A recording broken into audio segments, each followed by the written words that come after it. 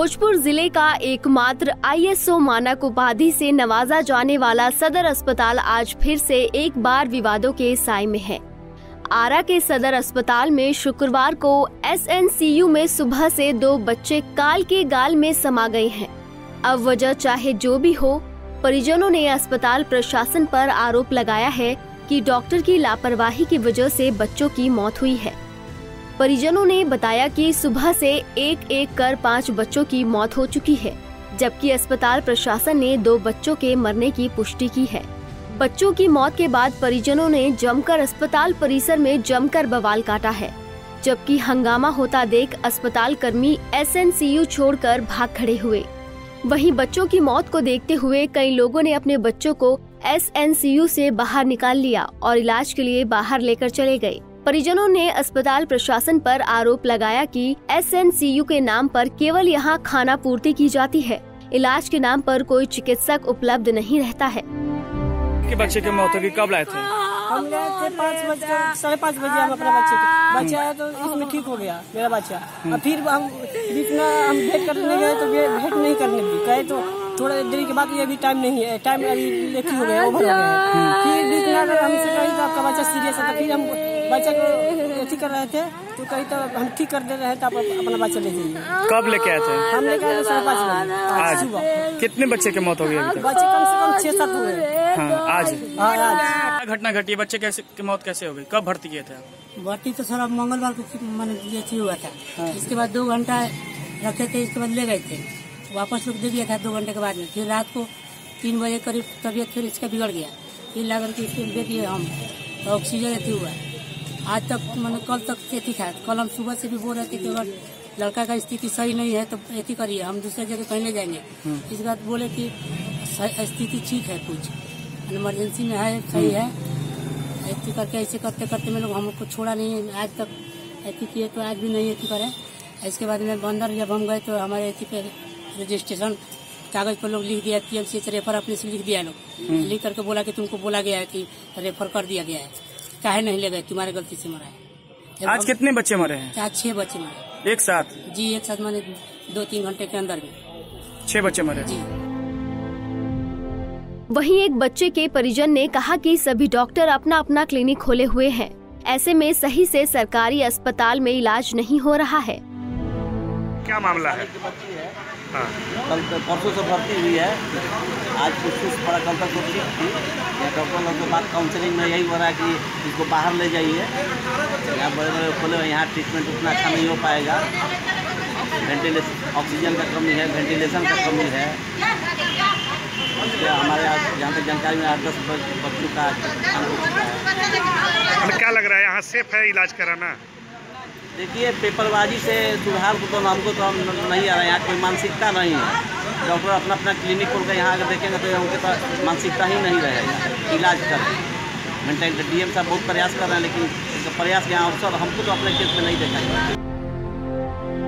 हालाँकि इस पूरे मामले पर अस्पताल प्रशासन ने अपना बचाव करते हुए कहा कि जिन बच्चों की मौत हुई है, उनकी स्थिति काफ़ी गंभीर थी और उनको पहले ही रेफर किया जा चुका था। मेरे द्वारा देखा गया है मेरे द्वारा टाइमली इनको इन्फॉर्म किया गया है। उस समय जो एक्यूट इमरजेंसी जो होता है हम लोग दवा देते हैं वो एड्रेनलिन इंजेक्शन है। खून रोकने के लिए जो दवा होता है वो दवा दिया गया। इन्हें बताया गया कि आप बच्चे को वेंटिलेटर की ज़रूरत पड़ेगी। डेफिनेटली बच्चे को पटना पीएमसीएच लेके जाइए। ठीक है? बावजूद भी नहीं लेके उसके, उसके बावजूद इनको बताया गया है उसमें जो भी समय लगे विलम्ब लगे वो हम लोग नहीं कर सकते कि हमारे हाथ में जो है उतना हमने किया है। उसके बाद भी ये बच्चा तो इनका निकल गया था बाहर। निकलने के बाद भी बच्चा सांस रोक दिया इसमें हम इससे आगे कुछ नहीं है। मतलब मैंने ट्रीटमेंट के बारे में आपको बताया देखिए, ये जो एस है, ये ऐसे सीरियस बच्चों के लिए ही है। ऐसे बच्चे जो जन्म लेते हैं या तो सदर अस्पताल में, या सदर अस्पताल से बाहर, और एक या दो परसेंट बच्चों की स्थिति जो है, वो जन्म के समय नाजुक रहती है। ऐसे ही बच्चों के लिए शिशु बना हुआ है। तो जितने बच्चे आप देख रहे हैं सभी सीरियस ही हैं। हाँ लेकिन कुछ ऐसे बच्चे आते हैं जिनको कि जो लेट आते हैं यहाँ से लेट लाए जाते हैं जो अंतिम समय में आते हैं ना ऐसे बच्चों को बचाना बड़ा मुश्किल हो जाता है। और अ, हम लोग का जो हम लोग की इच्छा रहती है कि सारे बच्चे यहाँ से स्वस्थ होकर जाएँ लेकिन ऐसा संभव नहीं है जो काफ़ी सीरियस बच्चे आते हैं तो मोर्टैलिटी उसमें निश्चित है आज कितने है। बच्चे मरे हैं सर? देखिए, हमको जैसा आपको बताया, दो दो बच्चों की डेथ हुई है और एक बच्चा काफ़ी सीरियस हालत में है हाँ उसका जो सांस की जो प्रक्रिया है, वो खत्म हो गई। बच्चों की मौत का ये कोई पहला मामला नहीं है। इससे पहले भी यहाँ पर ऑक्सीजन और एसी की खराबी की वजह से कई बच्चों की जानें जा चुकी हैं। सवाल उठता है कि बार बार हो रही इस घटना के बाद बिहार सरकार इस पर कोई कार्रवाई क्यों नहीं कर रही? क्या सरकार के लिए एक दो बच्चों की मौत कोई घटना नहीं है? या सरकार स्वास्थ्य सेवा देने में नाकाम हो रही है। पंजाब के एस टीवी के लिए भोजपुर से राकेश कुमार की रिपोर्ट। ये सरकार निश्चित रूप से गरीबों के प्रति, दबे कुचले, शोषित के प्रति वे जिम्मेदार नहीं है। वो जिम्मेवार नहीं है। और ऐसे परिस्थिति में गरीब मारे जा रहे हैं और ये लोग सिर्फ़ पीठ थपथपा रहे हैं कि नहीं, हमारी व्यवस्था अच्छी है, हम काम कर रहे हैं। लोग को जो है कि वहाँ, अभी तक ये सरकार को ये जाँच करना चाहिए कितने हमारे पीएमसीएच में मशीन है, जो मशीन खराब है। बिहार के जो जिला अस्पताल है, उसमें कितने ऐसे जाँच का मशीन है जो खराब है? क्या इस पर कभी समीक्षा करने का काम बिहार सरकार के जो है कि स्वास्थ्य मंत्री करने का काम किए हैं क्या? क्या स्वास्थ्य विभाग के प्रधान सचिव करने का काम किए हैं कि ये तमाम चीज़ की जाँच और व्यवस्था जब करेगा तो उस स्थिति से पता चलेगा कि स्वास्थ्य विभाग में कितना लूट लाट हो रहा है। दवाएँ कहाँ से आ रही है? दवाई की क्या व्यवस्थाएँ हैं? ये तमाम चीज़ों पर जो है कि ये काम नहीं चल रही है। ये सभी जो है कि बेकार चल रहा है, व्यवस्था अच्छी नहीं है। जिसके कारण बिहार के गरीबों का स्थिति बस से बदतर स्थिति बन गई है और उनके बच्चे जो है कि मर रहे हैं, कहीं स्ट्रेचर नहीं है तो कहीं एंबुलेंस नहीं है, कहीं वो गैस लेकर के जा रहे हैं, यही बिहार में हो रहा है ना। ये व्यवस्था बिल्कुल खराब है, इनको दुरुस्त करना चाहिए। हॉस्पिटल है एंड बस उसमें थोड़ी सुधार की ज़रूरत है, जैसे बीच में कभी दलाल आ जाते हैं, जैसे कॉमन मैन को काफ़ी प्रॉब्लम होता है, वो नहीं होना चाहिए। और कुछ दवाई जो डॉक्टर सजेस्ट करते हैं, वो सस्ते होने चाहिए, ताकि गरीब और जो कॉमन पीपल है, वो अफोर्ड कर वो डॉक्टर है वीआईपी ट्रीटमेंट वीआईपी लोग जो आते हैं, उनको ट्रीटमेंट के लिए वो सब डॉक्टर ज़्यादा इन्वॉल्व है। पीएमसीएच में इमरजेंसी विभाग में शायद ही एक आध डॉक्टर होते होंगे, दिन भर में 24 घंटे में एक आध राउंड लेते होंगे। मेरे ख्याल से तो एक भी सीनियर डॉक्टर नहीं राउंड लेते हैं। पीएम आप पी एम में एक राजेंद्र सर्जिकल एक विभाग है। वहाँ पर एक से एक बड़े बड़े अच्छे अच्छे डॉक्टर सब हैं वहाँ पर। लेकिन आप जाकर देखिए कि वार्ड में जहाँ पेशेंट बैठे हुए हैं कभी पूछ लीजिए किसी से भी कि कोई सीनियर डॉक्टर आके विज़िट किया है? इस किसी भी पेशेंट के बारे में आके पूछा? नहीं।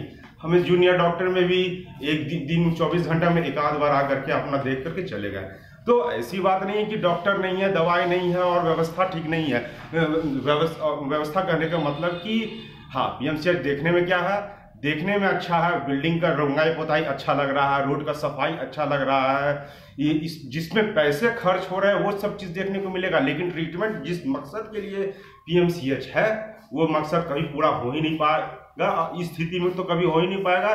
मंत्री आएँगे, जाएँगे, बदलते रहेंगे, लेकिन इनका कार्य का जो करने का जो वहाँ का मशीनरी सिस्टम है, बहुत ही खराब है। तो पीएमसी से, हमारे पीएमसी पटना के बहुत अच्छे हैं, लेकिन उसमें कुछ खामियाँ हैं।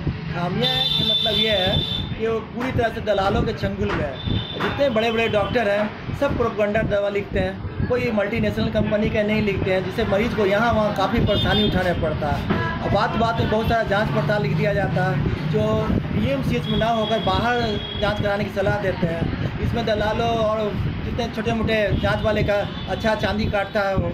और बड़े बड़े जो भी मरीज़ वहाँ आते जाते हैं काफ़ी परेशानियों का सामना करना पड़ता है। सदर अस्पताल की बहुत ही दुर्दशा है। आए दिन बच्चे मरते रहते हैं कोई उसका देखभाल का इलाज नहीं है डॉक्टर भी कन्नी काटते रहते हैं।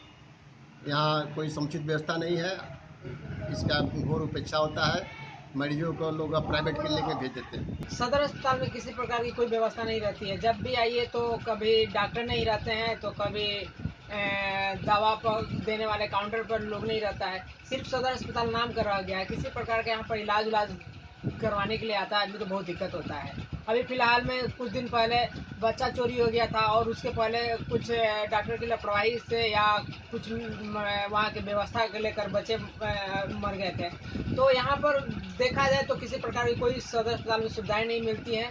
सिर्फ़ एक दिखावा है कि सरकारी अस्पताल है और सदर अस्पताल खाली नाम करा गया है। किसी प्रकार की कोई दवा नहीं मिलती है यहाँ पर और कोई व्यवस्था नहीं है। सदर अस्पताल में पूरी तरह से कोई व्यवस्था ही व्यवस्था